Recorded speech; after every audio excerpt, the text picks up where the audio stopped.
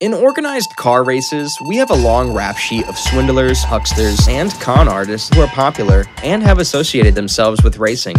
Some with different get rich quick schemes, others with the ambition that is too good to be true, and a lot of them leaving a trail of bounce checks and many broken promises in their wake.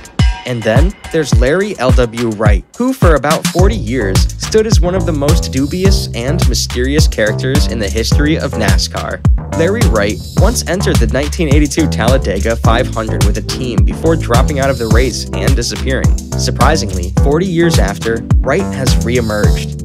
Hello guys, and welcome to Cracked History Facts. Today, we look at the story of Larry Wright, the man that once disappeared and was found again.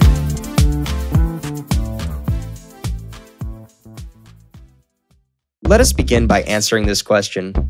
For those that are curious to know, let's simply say Larry is the man who talked his way into NASCAR.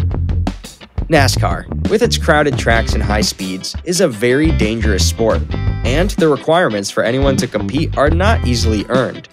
A competitor needs to travel a long path to earn a competitive license, and most drivers begin while they're teenagers. The competition is not just fierce, but also expensive. A NASCAR hopeful needs a lot of sponsors and finances to enter this race series and compete at over 200 miles per hour. This makes Wright's story almost unbelievable. Here was a man that had no money, zero racing record, and no sponsors. But somehow this man was able to race at the Talladega Super Speedway in 1982, after which he disappeared from NASCAR. Astonishingly, many people don't know anything about this mysterious con artist. All we know of Larry Wright came from this one event. Wright was an accomplished driver and a very confident individual.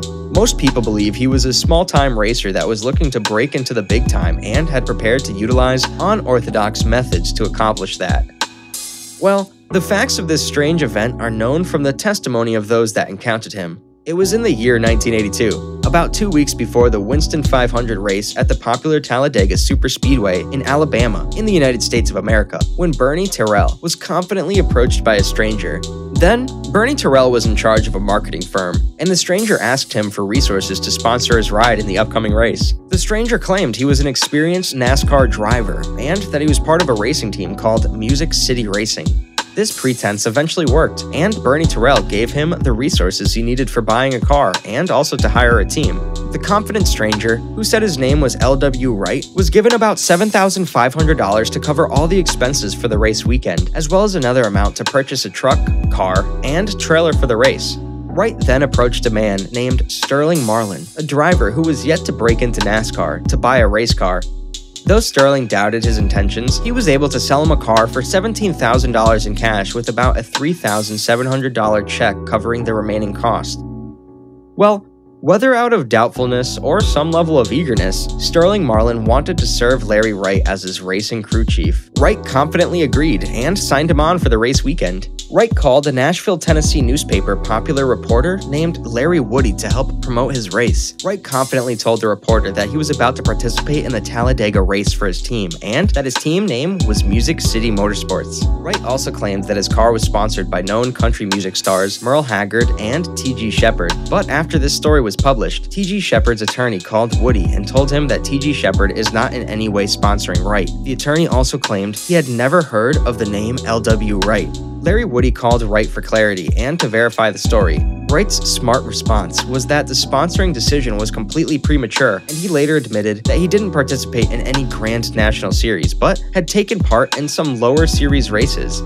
The next challenge for Wright was to obtain a license, which is vital for competing in the NASCAR race. There are lots of reasons for Wright not to have that license, but this smart con artist didn't let that stop him. Larry Wright elegantly walked into the office responsible for the issuance of NASCAR credentials and convinced all the officials about his racing records and history. Somehow, without providing any form of evidence of his racing record or ability, he was issued a license to race. On the race day, as the cars were lined up on May 2, 1982, L.W. Wright was at the back of the grid, Irrespective of a crash during his practice, Wright had managed to qualify in 36th place out of the 40 drivers that raced that day, including popular names such as Richard Petty and Dale Earnhardt.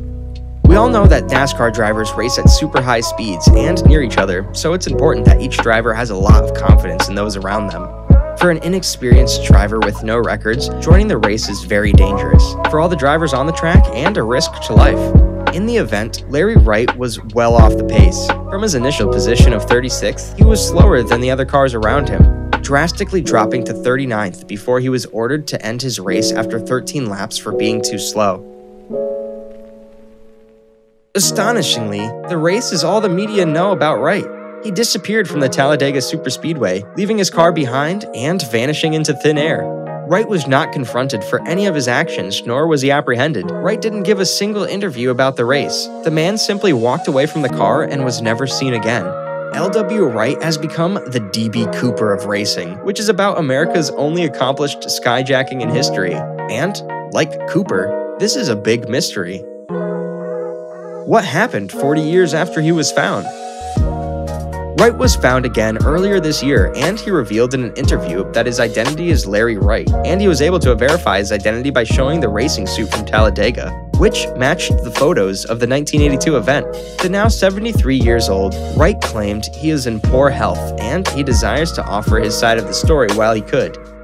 He claimed that he purchased a car from Coo Coo Marlin under the condition that Coo Coo Marlin's crew pitted the car at its first race and he painted it black with the number 34, alleging he picked the number as a nod to longtime driver Wendell Scott as well as his age at that particular time. Wright claimed he had been involved in many country music businesses as a bus driver, and that he was offered financial assistance to race Talladega by Merle Haggard and others. He also claimed that he had never been to Talladega before participating in the race, and that he was overwhelmed by the scale and size of the racetrack he was going to compete on. Wright said, I remember pulling into the infield that day and standing at the end of the track and looking down it. And I looked over at my brother and I said, Lord have mercy, there ain't no way. He continued by saying, You think about holding that car, the pedal flat on the floor around this track. That straightaway is almost a mile long. How much can that car gain before you go into that turn? And that was my first thought. I got off by myself that day, and I said, Lord, I'm down here, but I'm gonna need some help. And I didn't tell nobody else that. He also disputed parts of the story that surrounds him, specifically as it concerns the money he owed to Marlin, NASCAR, team owner, and investor BW Terrell. LW Wright claimed he paid for his NASCAR license in cash, and he also agreed to pay Marlin immediately after the race was over. He classified the nature of his financial problem as being characterized by many unpaid bills from sponsors that later backed out rather than bounced checks. And also, he claimed that stories about the amount of money he owed were an absolute myth. Wright said, The people that were putting money into the car to catch up, these promised notes or bills, didn't. When we didn't get to run the race, they just quit. So it was left on me. He continued by saying, If you could find somebody that said I owed them $30,000, you tell them, and I'll face them. I want to see who they are, and I want to know how they come about. If that makes them stutter, you know what I'm talking about, okay? This incident is one of the most strange stories in the long and beautiful history of NASCAR. Well, as for the 1982 Talladega 500 race itself, it was won by Darrell Waltrip. Thank you guys for watching. We hope you enjoyed the video. Bye, and until next time.